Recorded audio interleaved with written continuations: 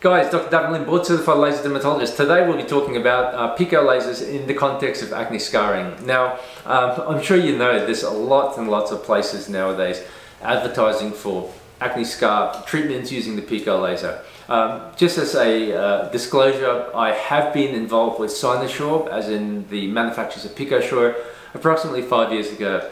And based upon the pilot um, study in the US, whereby at the end of the day, the conclusion with that is that patients treated with picosecond uh, fractional laser, in this situation using the um, focus uh, lens of the Cynosure's uh, PicoSure, they developed the same outcome as, quote, uh, fractional CO2 lasers. So that's a really, it's a really, really big statement, yeah, because um, as dermatologists and plastic surgeons, we all know that um, a CO2 laser uh, gives you the most amount of textural improvement, but also the most amount of collagen remodeling, but also has a significant downtime and risk.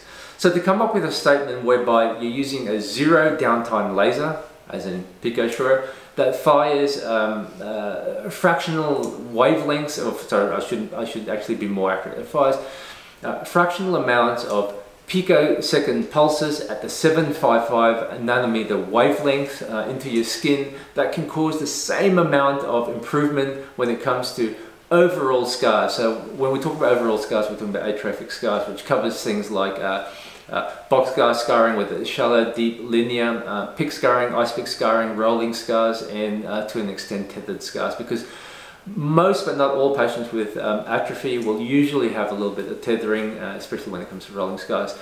So that paper was, I guess, a landmark paper because um, when I looked at that, I was going, how in the hell can uh, a laser do that in the context of Pico? Yeah, because we all know um, it's really a no downtime laser. Do I like Pico? PicoSure? Absolutely. I still think it's one of the best lasers when it comes to uh, ethnic skin rejuvenation. So when we're actually trying to improve pores, fine lines, pigment, excluding melasma, uh, in patients who, are, have got a lot of chromophore, basically a lot of melanin, which is a target for this laser. So, interestingly, I did a series myself, yeah, and um, I wanted to confirm or deny that claim because it is pretty big claim to actually improve uh, uh, that kind of scarring.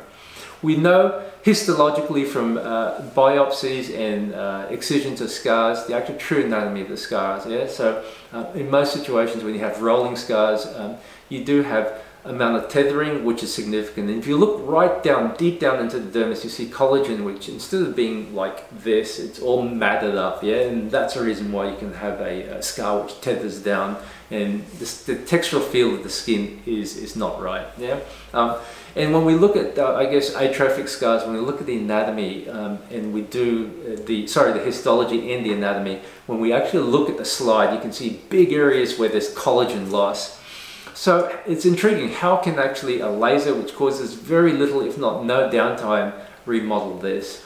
Um, so I did a series of patients and there's only one out of that, I think it was 10 patients, yeah, so nine failures, one result. Uh, and that result was an ethnic patient with mild early scars.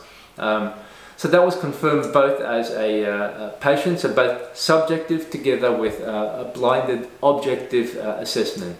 Uh, I didn't want to publish that paper because of the fact that um, it served no, no use, yeah? rather than saying that I can't get the results compared to other practitioners.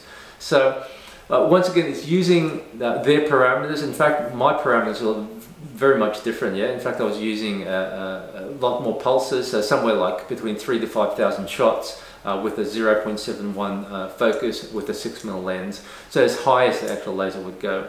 But once again, this is all based upon logic, yeah? So uh, we're talking about a laser which actually helps, uh, I guess, remodel some collagen really, really high up in the, uh, in the dermis, but causes really good epidermal change such as uh, laser-induced optical bodies and, and, and, things like that, which can release cytokines, growth factors into the dermis and cause textural improvement where you have better, I guess, smaller pores and less uh, wrinkles together with improvement in pigment. But logically, with that kind of cascade um, using uh, picosecond lasers, I just can't see it actually going right into the uh, reticular dermis, nor can I see the laser actually snapping or remodeling the bonds, which we know for people with rolling scars or severe scarring, actually forms deep in the subcutaneous layer that transverses all the way from the fat all the way into the dermis and actually attaches like a tree into the uh, uh, upper uh, dermal layer. So if you look at the, both the anatomy, gross anatomy, where you touch, you feel,